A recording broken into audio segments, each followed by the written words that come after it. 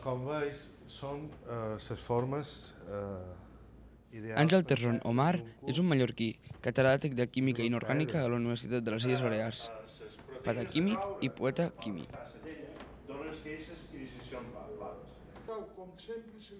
Pataquímic, patafísic, són mots que desconeixem, però en canvi són molt presents a la nostra vida quotidiana.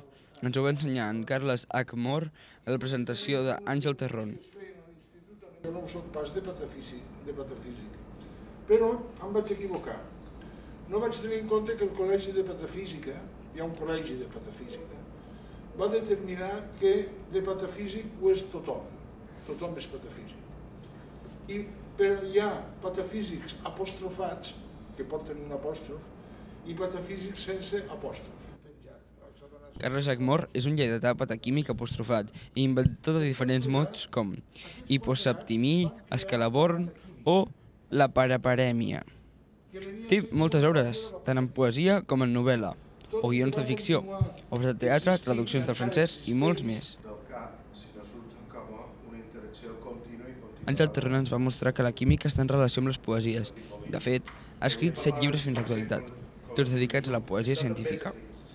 M'interessa la poesia i la química simultàniament.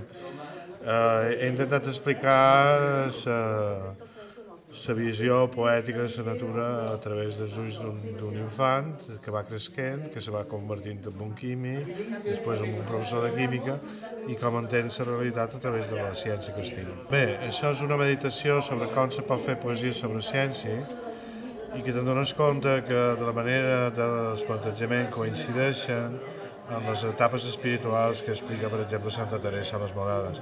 Vull dir que l'activitat humana enfront d'un problema iniciàtic pues, té pues, un començament, un desenvolupament, pujades, baixades, i bé, això està sempre tota la literatura. I de la composició a